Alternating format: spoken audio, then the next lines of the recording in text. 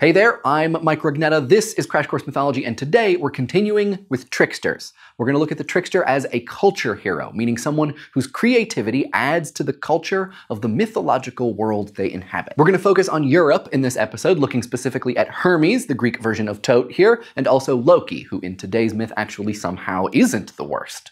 Sorta. I mean, he does disguise himself as a biting fly, so he's definitely not, like, the best.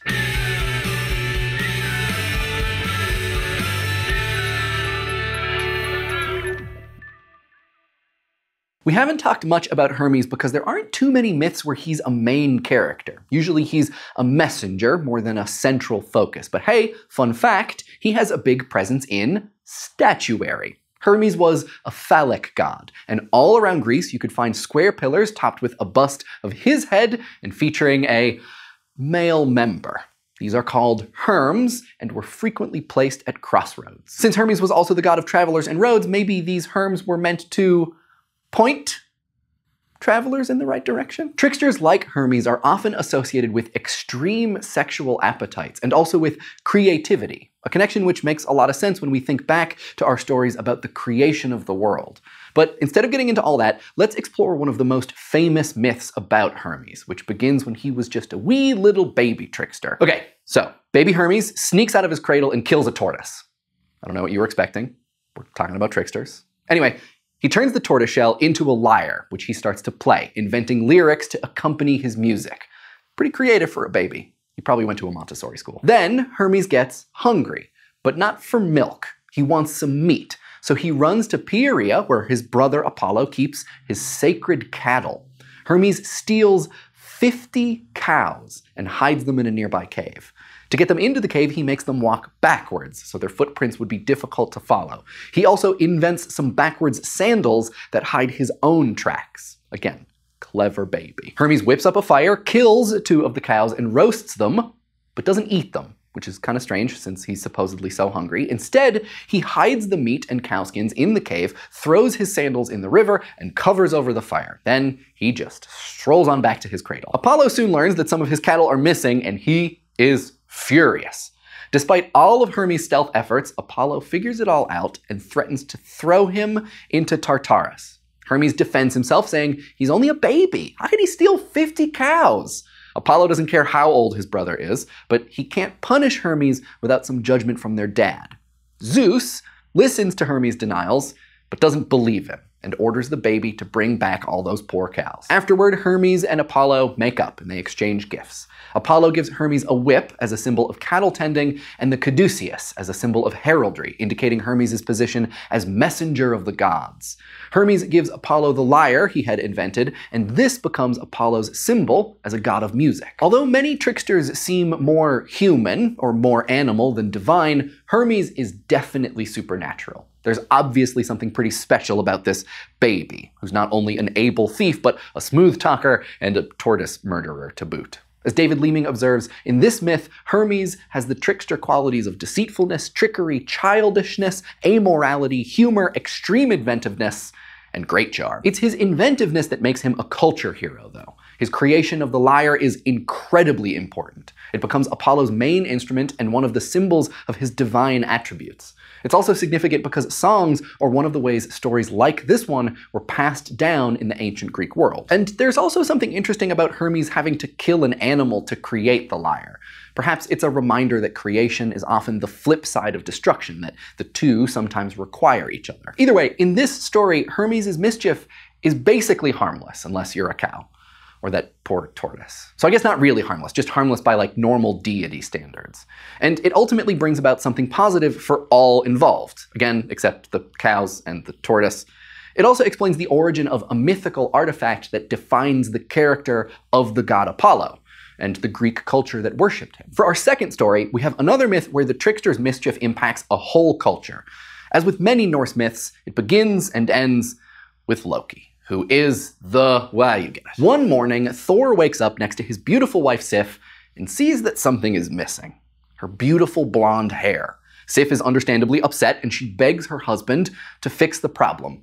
Thor has a sneaking suspicion, and heads off to see Loki. At first, Loki denies doing anything, but when Thor threatens to break every bone in Loki's body, Loki admits that yes, he'd stolen Sif's hair, he'd been hitting the mead, got to thinking, wouldn't it be funny? You know, disappearing hair? Hilarious. Unsurprisingly, Thor doesn't appreciate the humor and threatens him again with a most Norse undoing. So Loki offers to fix the problem, saying that he can get Sif even better hair. Thor agrees and lets Loki venture to the land of the dwarves. What is it with tricksters and dwarves? After that Anansi story from the last episode, I have a bad feeling about this. His first stop, the Sons of Ivaldi, three dwarves known for their ability at the forge. Loki says that the gods of Asgard know of their great ability, but that really they're only the second best craftsmen among the dwarves, behind the brothers Brock and Eitri. The sons of Ivaldi declare that they will not be outdone and promise to make three treasures for the gods, one of which, Loki says, must be magical golden hair. Then Loki goes off to see Brock and Eitri. You can probably see where this is headed. He tells them about what the sons of Ivaldi are going to do, and Brock, the talker, says that he and his brother can outdo those Ivaldis. No problem. Loki bets him he can't, and Brock takes the bet, but says that if the gods like his and Eitri's treasures best, Brock gets to take Loki's head.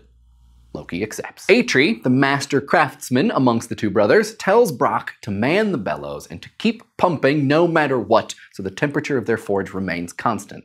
Brock keeps up his pumping for the first two treasures, despite being bitten on the hand and then the neck by a large, pesky fly, who is, of course, Loki. By the time Eitri is working on the third project, Loki the Fly is really beginning to worry that he might lose the bet, so he starts biting Brock's eyebrows. At one point, Brock brushes the blood from his eyes and just for a second breaks his rhythm. When Eitri finishes making the treasure, he chastises his brother for the imperfections caused by his erratic oxygenating, but says that his gift will have to do. Loki brings the Ivaldi's treasures back to Asgard. Brock brings his and his brothers. Loki reveals his treasures first, and we reveal the thought bubble to see who wins. The first treasure is Sif's new head of hair made from gold. When she puts the wig on, it fuses with her scalp and behaves like real hair. She is ecstatic, the gods are impressed. Next, Loki presents Odin with a spear, Gungnir. When thrown, it always hits its mark, useful for an old one-eyed god with suspect aim. Also, any oath sworn on Gungnir is unbreakable. Odin is pleased, but not effusive in his praise. Classic dad move. The final treasure is for Freyr, brother of Freya, who we've discussed in the past. This treasure looks like a handkerchief, but when unfolded, it becomes Skifblathnir, a magic boat big enough to carry all of the Aesir, and it'll always have a fair wind pretty great for a seagoing people. Loki is pleased, but Brock is still confident that his gifts will be better. First, he unveils a golden bristled boar, Gullinbursti. It glows in the dark, pulls Freyr's chariot, runs over water, and goes faster than any horse. Freyr is pleased, but Loki says it's nothing compared to a folding ship, which is just, I mean, come on. It's a glowing chariot boar. The next gift is a golden armband called Draupnir, which Odin wears. Draupnir multiplies itself. Every night, eight identical rings drip from it, greatly enriching its owner. Why gods need gold is a bit beyond me, frankly, but hey, Odin, psyched. The last gift is Eitri's third project, the one erratically oxygenated. It's a hammer. And even Brock has to admit that the handle is a little too short, but that doesn't really matter once Thor gets his hands on it. This is Mjolnir, an unbreakable hammer. It always hits its mark and always comes back to the hand that throws it, and for Thor, it's love at first sight. The rest of the Aesir agree, because with Mjolnir, Thor will always be able to protect them from giants. The Aesir announce that Brock and Eitri's gifts are the best, and they're all happy, except for Loki, who totally dunked on himself. Thanks, Thought Bubble. Now that he's lost the bet, Loki starts sweating and making excuses to Brock, but Brock only pulls out his knife and starts talking about all the stuff he and his brother are gonna make out of Loki's head. Increasingly desperate, Loki starts looking to the other gods for help, but no one's buying it. A bet's a bet, and Loki lost, even after cheating. Loki thinks quick. He's got one more trick up his sleeve. Loki explains that yes, Brock does have a right to his head, but that the bet didn't include any part of his neck. So he's welcome to the head, but only if he can get it without cutting the neck. Brock calls shenanigans and appeals directly to Odin, but in perhaps the earliest example of getting off on a technicality, the one-eyed Allfather agrees with Loki, and Brock has to go home with his own head in his hands instead of Loki's. Classic trickster stories like these often involve serious transgressions against society. In this case, it's stealing, and not just from humans, but from other gods. Neither Loki nor Hermes has a good reason for their thefts either. In fact, their excuses are downright immature. I was drunk, and I'm a baby. Though, to be fair, both do end up presenting important gifts to their fellow gods, ones that become foundations of the stories told about them for millennia. Loki, in particular, shows us that while tricksters often get away with their tricks, the result is not always a foregone conclusion. Despite his best efforts, Loki is set to pay a stiff price for stealing Sif's hair, first at Thor's hands and then at Brock's. In both cases, it's only his wit that saves him. Like Anansi, Loki can talk his way out of a pickle, and in this way provide a model for human behavior that other gods who rely on their supernatural gifts simply can't. Most of us don't have super strength or magic hammers, but we all have brains and the ability to solve problems, even if we're the ones who made those problems for ourselves in the first place. Just don't go trying to grift any rubes. You might not get lucky like Loki, and you could end up losing a little bit too much off the top. Thanks for watching. We'll see you next time. Check out our Crash Course Mythology tote, tote bag, and poster, available now at dftba.com. Crash Course Mythology is filmed in the Chad and Stacy Emigholz studio in Indianapolis, Indiana, and is produced with the help of all of these very nice people. Our animation team is Thought Cafe. Crash Course exists thanks to the generous support of our patrons at Patreon.